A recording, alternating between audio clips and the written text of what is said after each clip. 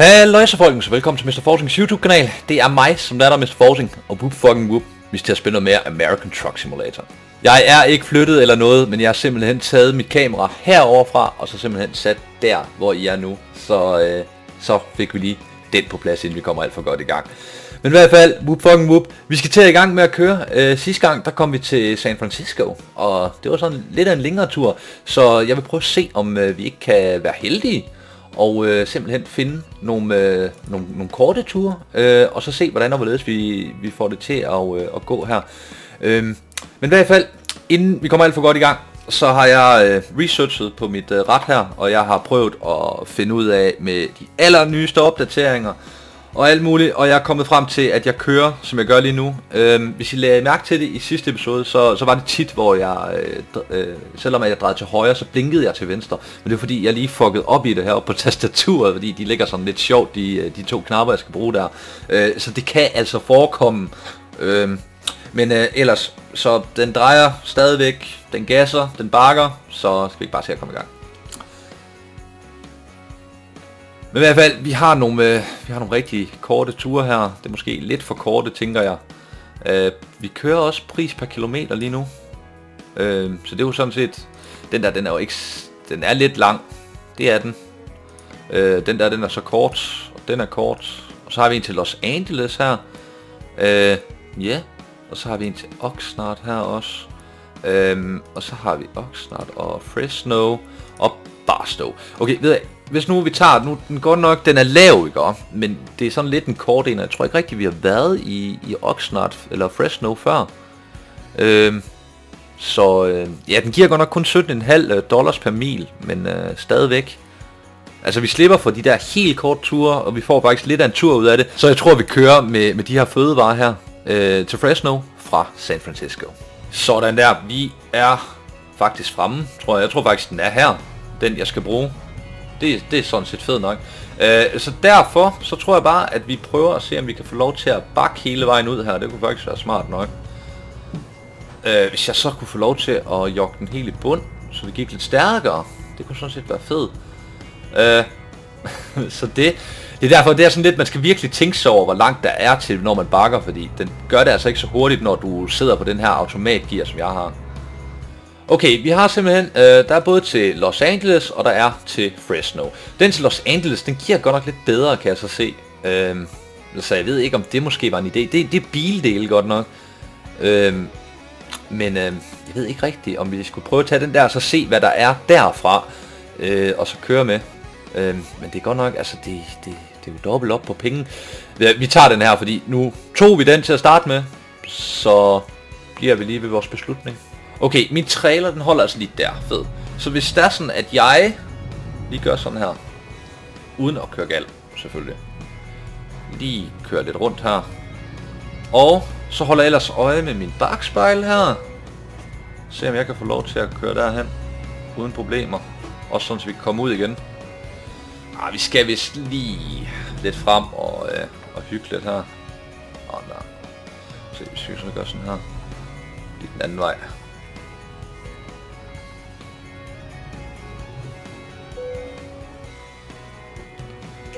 Bum. Sådan der, så er vi simpelthen klar til at rulle. Uh, vi skulle være fremme om uh, cirka 5 timer. Den tror jeg godt, vi kan køre lidt, uh, lidt hurtigere, fordi det ser ud til, at den, den, klokken er 9 om aftenen. Og når klokken er 9 om aftenen, så synes jeg ikke rigtigt, der er tendens til så meget, uh, til så meget af det her sådan, uh, trafik. Uh, så vi har måske en, uh, en chance for at, uh, for faktisk at kunne uh, køre sådan rimelig stærkt og alt muligt. Så det er fedt.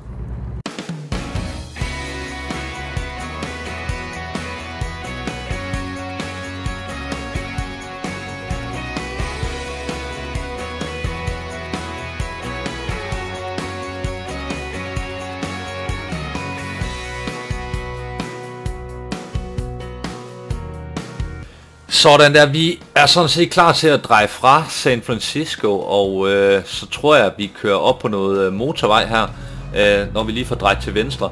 Men i hvert fald, i, øh, imens vi gør det, så, øh, så vil jeg gerne sige, at øh, det var sådan set meningen, at jeg snart skulle øh, i gang med noget, med noget multiplayer. øh, i stedet for at ligge og køre her inden for, for mig selv. Men på grund af øh, så meget andet, altså med kom bagud til de andre serier, jeg har på min kanal, øh, samtidig med, at øh, jeg har fået nogle, øh, nogle, nogle en, en videoordre ind, hvor, altså som, hvor der skal laves noget video inden for noget bestemt tid. Øh, samtidig med skole og alt sådan noget, så er jeg altså kommet noget bagud og har simpelthen ikke haft øh, tid til at, øh, at kunne kigge på det her sådan, øh, online øh, noget. Øhm, så derfor så, så er det lige udskudt lidt til, jeg lige er lidt godt med igen, eller i hvert fald lige får revurderet om, hvordan og hvorledes min, øh, min kanal skal køres, fordi øh, imellem også sagt, så, øh, så synes jeg ikke rigtigt, altså jeg har, der har jeg lige knap 32.000 subscribers, ikke? Øhm, eller jeg har over 32.000 subscribers, men sådan, det kan man sgu, det, det kan man ikke se i mine visninger, så derfor så er jeg sådan lidt, jeg vil gerne have nogle visninger, der er sådan også svarer til, subscribe, øh, til mit sub, øh, subscriber-antal. Og med det, jeg får lige nu, det er bare ikke godt nok. Og øh, det kan jeg kun takke mig selv for, fordi det er det materiale, som jeg lægger op. Og øh, jeg har prøvet lidt at, øh, at høre på, hvad, hvad folk gerne vil se. Jeg har for eksempel hørt rigtig mange, der har skrevet til mig, om jeg ikke kunne lave noget unturned. Men jeg tror bare ikke, interessen er der for det unturned, som jeg spiller det.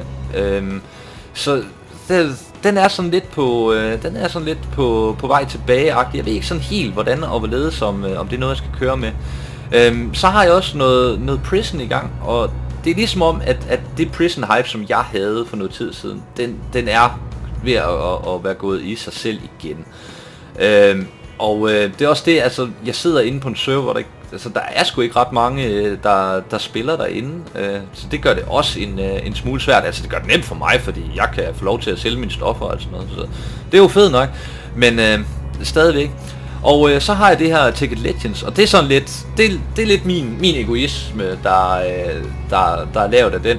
Fordi den vil jeg, øh, jeg elsker Ticket Legends, jeg elsker det her med EMC og alt muligt, og jeg håbede også lidt på, og at øh, hvis der er sådan, jeg delte det med jer, at, øh, at der at der kunne være noget, øh, der kunne være noget hype omkring det, men øh, sådan var det desværre ikke, og, og sådan er det, man skal heller ikke tvinges til noget, øh, til at se noget, man ikke har lyst til. Øh, så derfor så går jeg sådan lidt og tænker over, hvad kan jeg gøre bedre, og øh, det er det, jeg har lært ved, ved YouTube. Det, det er at stille mig selv det spørgsmål, hvad kan jeg gøre bedre? Øh, og det er sådan lidt en, det er lidt sådan et mode, jeg, jeg nok går i her øh, fra nu af, og så det næste år frem, øh, hvor, jeg, hvor jeg prøver nogle ting af øh, og alt muligt. Og så kan det godt være, at der bliver boykottet noget, nogle serier. Det kan også godt være, at der bliver lavet om på nogle serier og sådan. Det, det ved man ikke, før, før man ser det, eller før jeg har prøvet det af. Øhm, så øh, jeg håber i hvert fald på, at øh, I her det næste stykke tid vil, vil tage den rejse, hvor det er sådan, at jeg øh, udvikler mig lidt. Øh, det håber jeg da i hvert fald, at jeg kan gøre. Men i hvert fald, vi fik da også snakket næsten hele den tur her. Vi er fremme om tre timer godt nok. Øh, vi har nok diesel på, vi har også nok søvn. Jeg tror, vi har da nok søvn til at komme i mål i hvert fald. så det er godt nok.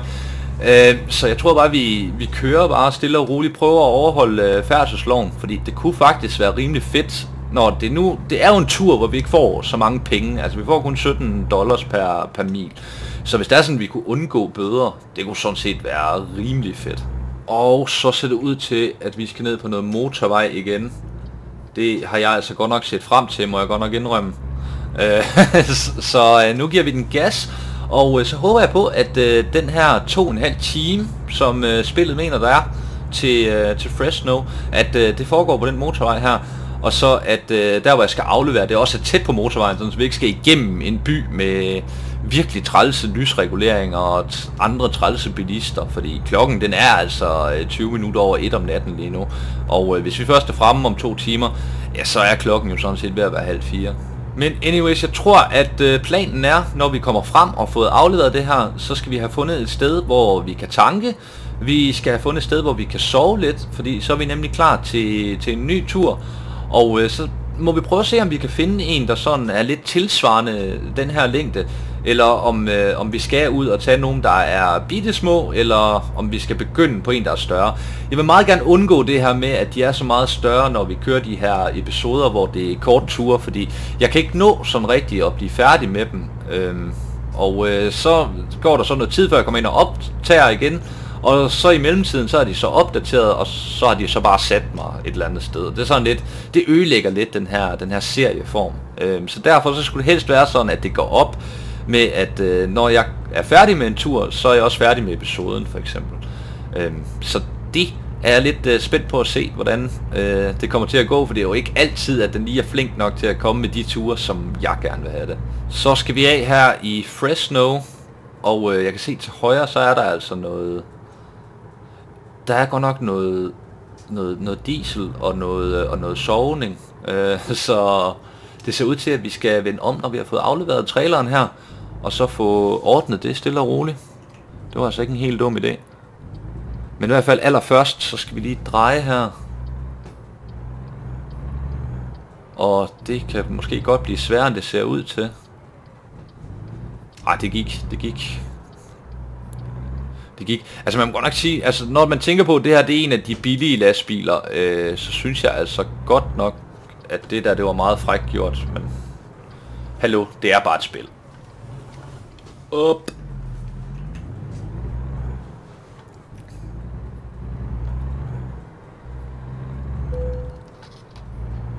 Ej, så får vi lige en bøde, fordi vi lige snitter hans... For... Ej, hvor irriterende. Uh, lad os lige prøve at se her. 0%. Vi har 6% skade i vedligehold. Altså, det er ikke fordi, jeg kører gal eller noget, men det er simpelthen bare fordi, det er lang tid siden, jeg har fået repareret min, øh, min lastbil. Men øh, i hvert fald, vi fik... øh, vi fik godt... Øh, vi fik godt en bøde på 600 dollars. Det er sådan lidt øh, irriterende, og vi kan sådan set også få en bøde for at køre for stærkt her, hvis der kommer en politimand. Øh, sådan der, så vi må nok heller lige passe øh, en lille smule på her. Så er vi vist ved at være fremme. Vi skal vist bare til højre to gange her, og så er vi ved Wahlberg, eller hvad det hedder. Øh, og det er jo til højre, så det vil sige, at selvom at der er, øh, der er rødt, så hvis der er fri, så må jeg faktisk godt køre. Fordi vi er i øh, US of the A. Så det gør vi bare stille og roligt her. Uden at tage nogle lygtepæle, det er super. Og så kan vi holde ind lige her. Skulle du gerne være? Yes! Og lad os se, hvor vil de gerne have den hen, hvis det er. De vil gerne have den derom eller der. Jeg tror bare, vi tager den nemme løsning den her gang. Den ser altså ikke særlig sjovt ud omme på den anden side, må jeg godt nok indrømme. Uh, så derfor tager vi bare stille og roligt og kører herhen. Og så takker jeg rigtig mange gange for de der 15 XP, som jeg kan få ud af det. Prøv at se, om vi kan få lov til at gøre noget her. Ej! Hvis jeg lige bakker lidt, så skulle det gerne passe. Der! Bum! Den var en smule skæv parkeret, men øh, de godtager den, så jeg tager den. Sådan!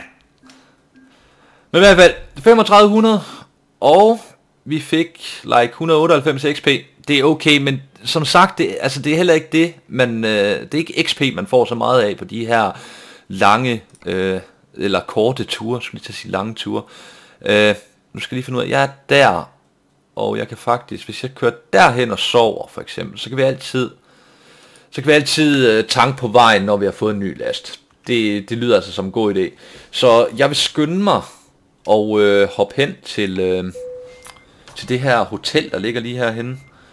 Øhm, hvis jeg kan komme rundt her, det ved jeg ikke, eller i hvert fald vende på en eller anden måde. Det kunne måske være fedt. Øh, der er allerede en af mine kollegaer, der sover der. Det er da fedt nok. Sådan der. Boom. Så jeg vil øh, skynde mig derhen, og så vil jeg lægge mig til at sove her. Klokken den nærmer sig jo fandme klokken 4 om morgenen. Og så er vi her simpelthen ved hotellet. Og øh, det var lidt farligt det der. Men jeg tror næsten, at vi kan sove her. Nej, vi kan sove her simpelthen. Så det vil vi gøre. Bum. Og så vil vi ligge og sove ind til klokken halv to om øh, eftermiddagen. Og så er der garanteret en hulens masse af, af biler ude i, i byen her. Men øh, det må vi bare lige øh, overleve. Og øh, så kan vi så se, der er kommet en masse lange ture. Øh, der er også en kort tur fra Fresno til Fresno. Det er sådan set fedt nok. Så har vi en tur til Los Angeles, der faktisk giver 20 dollars per mil. Det er altså ikke helt dårligt. Vi har også til San Diego en lidt længere tur til Arizona. Vi har også en til Santa Cruz simpelthen. Lidt mere vestpå, men den giver sig ikke så meget. Legetøj til San Francisco, den vej vi lige har taget. og øh, jamen så fortsætter det ellers bare stille og roligt her. Barstow, Kalifornien, og så har vi noget nordpå her, Sacramento, og det er bare lavere og lavere. Fra Fresno til Fresno med tomme paller, det er fedt. Fra Fresno til Barstow, og Truckee her, eller Truckee og Yuma.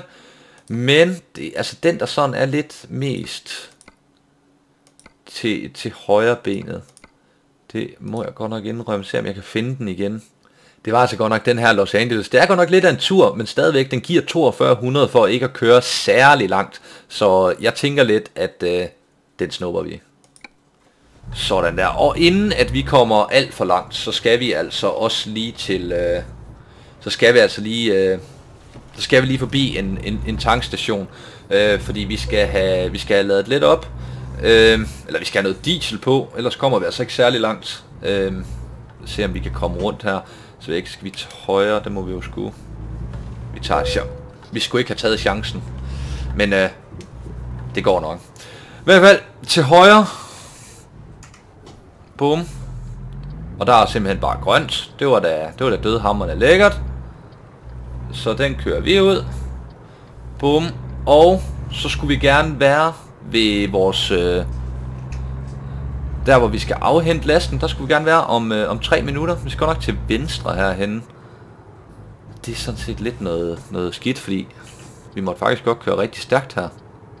Så det er jo sådan lidt noget møje.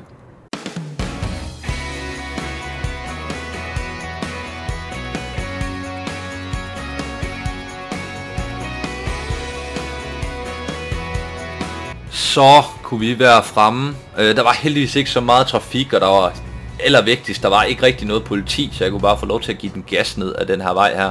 Men i hvert fald, vi prøver at se, om vi kan finde vores, øh, vores lille vores lille last her. Der er den her til Los Angeles, så er der så de andre her, men øh, det er altså den her, vi går efter. Boom.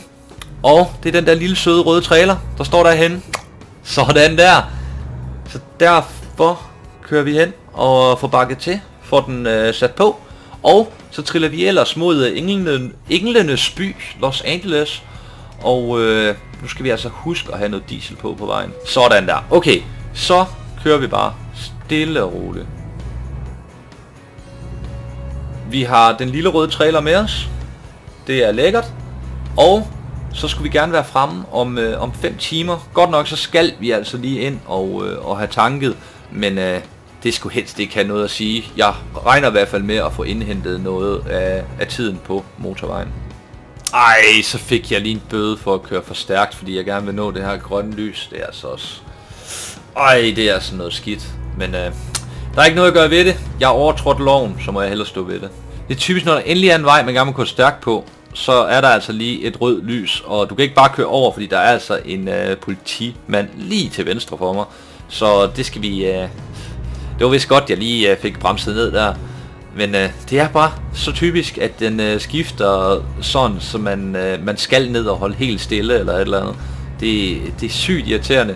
Men igen, det er jo sådan spillet er. Men i hvert fald, vi er godt på vej ud af Fresno og øh, håber på at kunne øh, finde LA øh, hurtigst muligt. Der er 5 øh, timer øh, ifølge GPS'en til vi er der.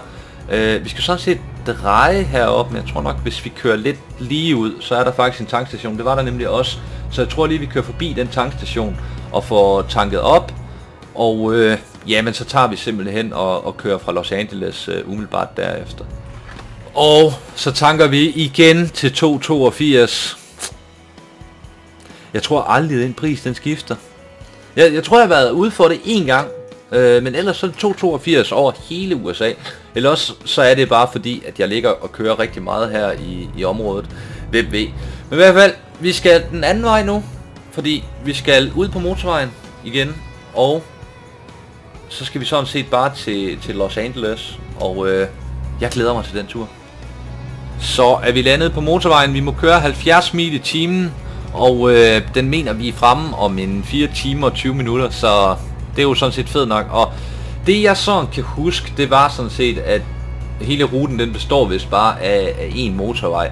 Så det er sådan en af, de, øh, en af de bedre ture, den er sådan hurtigt overstået. Og det er jo det, der er rart, fordi er det hurtigt overstået, så er det jo hurtigere penge i kassen. Og jo hurtigere penge i kassen vi kan få, jo hurtigere kan vi blive uh, gældfri. Så det er jo sådan, det er okay. Men anyway, jeg glæder mig utrolig meget til jeg rammer level 7, fordi det betyder nemlig, så kan vi købe den næste tier uh, lastbil. Og øh, det tror jeg altså, jeg gør. Jeg tror, jeg laver sådan en med, at øh, jeg bytter den her for en ny, fordi så skal jeg ikke betale den fulde pris, men øh, stadigvæk, altså det kommer til at, at, at give stort set det samme, for jeg sælger den her, hvad den er værd, øh, og så bytter jeg simpelthen lige over for, for en nyere lastbil. Og jeg er meget spændt at se, hvordan og hvorledes den, øh, den nyere lastbil, den, øh, den klarer sig, fordi jeg synes den her, selvom at det er det laveste tier øh, af lastbil, af, af dem her Kenwoods Kenworth her, så synes jeg virkelig, at den kører utrolig godt. Øh, både op af, af bakker og i optræk, og jamen den trækker også bare øh, rigtig, rigtig godt. Jeg havde i hvert fald ikke regnet med, at, øh, at den ville gøre det så godt. Så øh, jeg er jeg er sygt hype på, på, den næste, på det næste level her, og jeg håber på, at der ikke går så lang tid, at der ikke går sådan flere 40 episoder, før at vi får hentet øh, experience nok. Men øh, nu må vi se, hvad det bliver til. Og det kører simpelthen så godt, at vi faktisk ligger over øh, hastighedsbegrænsningen i, øh, på motorvejen her. Og det er jo sådan set kun en god ting, fordi der er bare en masse asfalt, og det er lige ud, og alt muligt lækkert. Så det vil sige, sådan chancen for at køre galt, den er ikke så god. Øh, det der sådan set er, det er, at chancen for at få en bøde, den er større, end det er for at køre galt. Fordi her på motorvejen, der, øh, der synes jeg, at øh, AI-bilisterne her, de, de er rigtig gode til at ligesom her blinke af og, øh, og, og holde afstand og alt sådan noget. Øh, og øh, det er jo sådan set fedt nok. Øh, det der med, at de ikke bare laver sådan hasarderet øh, kører ind foran dig og, og alt sådan noget, det, det synes jeg ikke, man ser så meget af i American Truck Simulator. I hvert fald ikke i, i en vis grad, som, som jeg oplevede det i Euro Truck Simulator for eksempel. Jeg ved ikke, om de har lavet, øh, om de simpelthen har lavet noget, noget andet styresystem til dem.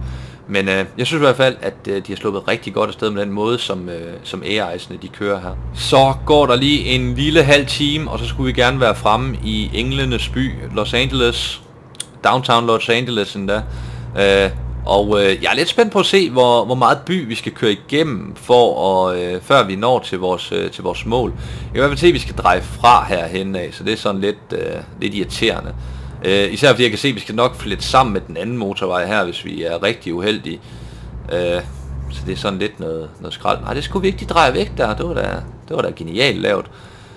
Men i hvert fald, jeg tror, vi skal ned på beach area her.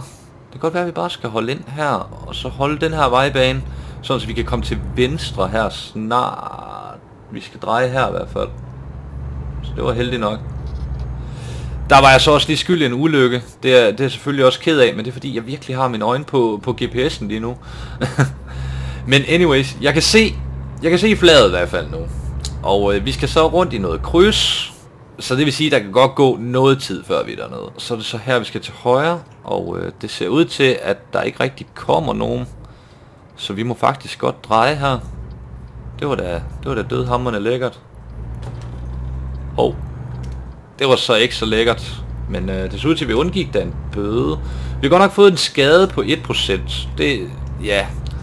Så længe at det ikke har sådan noget ved vores sådan at vi mister rigtig mange penge på det, det så er det sådan set okay. Men uh, den var også lidt uheldig, den der. Vores stakkels lille røde container. Men anyways, det ser ud til, at vi er ved at være fremme i Los Angeles, og uh, hvordan og hvorledes vi skal komme ud herfra, det må vi, det må vi se i, i næste episode, fordi uh, jeg tror godt, der kan være meget trafik her. Og især når, når tiden bare går. Altså klokken den er 5 nu, og det er den jo garanteret også, når jeg logger ind igen for at optage næste episode. Men øh, nu må vi se, hvad det bliver til. Jeg skal dreje her. Jeg fik en bøde for at gå over på rødt.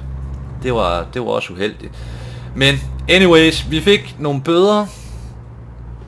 Vi fik en god tur. Men i hvert fald, nu er vi fremme. Og øh, jeg tror, at den virkelig er træls at sætte på plads, den her, hvis jeg skal være helt ærlig. Bum. Men vi får i hvert fald se på det. Ja, vi skal derhen. Men uh, jeg synes, vi bliver nødt til at prøve at gå efter de her 40 XP, fordi nu har jeg snakket om, at jeg virkelig gerne vil op i niveau 7. Uh, øh, og ikke rigtig kommet det endnu, men uh, lad os prøve at se, om vi kan få det til at fungere her. Sådan der, okay. Så tricket nu, det er så at få den bakket ind, så den er ordentlig. Og uh, det kan godt være lidt svært en gang imellem. Men uh, Nu ser vi, hvordan det går her. Det ser ud til, at jeg var lidt for hurtig til at rette op der. Det var lidt noget møje. Så hvis jeg så retter op nu, så kan vi altid køre lidt frem, og så bakke lidt mere tilbage. Øh, jeg kan ikke rigtig se, hvor langt vi er herfra. Åh, oh, okay, fair nok. Sådan der. Så skal vi lige have rettet op her.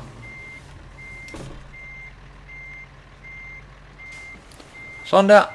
Og det jeg så gør, det er at gøre sådan her.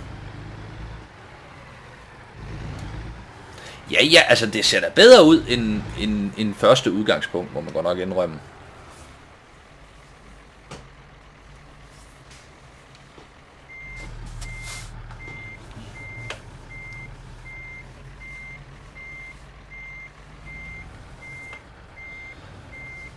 Men altså, al, al respekt til, til de vognmænd, der ligger og gør det her i virkeligheden. Øh, dag ud, dag ind, time efter time, øh, og bakker ind sådan her. Det, øh, altså man kan sgu kun tage hatten af for dem. Men øh, det ser ud til, at det lige lykkes for mig lige der, hurtigt i hvert fald. Jeg ved ikke, om vi kan nå der. Bum. Den er ikke helt, den er ikke helt god, men øh, spillet, det accepterer det inden for de grønne rammer, så det er godt nok. Og vi får en godt arbejde. Vi får, hvad? 247 XP, 4000 dollars lige ned i foråret. Det er, det er jeg sådan set godt tilfreds med. Men i hvert fald, vi er oppe på øh, 287.000 nu. Øh, og det er sådan set fedt nok, fordi vi skylder faktisk kun 382.000. Det vil sige, at vi er faktisk kun i 100.000 i underskud fra at kunne øh, betale øh, hele skidtet her tilbage. Så det er, det er rimelig fedt. Det er rimelig fedt. Men i hvert fald, jeg vil sige tusind tak, fordi du så med, og jeg håber på, at du ser med næste gang. Hvis det er sådan, du kunne lide den her episode, så giv den lige et øh, like. Hvis det er sådan, du ikke kunne lide den, så giv den lidt dislike, men husk nu at skrive ned i kommentarerne, hvorfor du disliker, fordi så kan jeg nemlig bruge dit dislike til noget, og eventuelt gøre noget ved det, og så kan vi alle sammen leve lykkeligt til vores dagsende. Tak fordi du så med, og fortsat god søndag. Hej hej!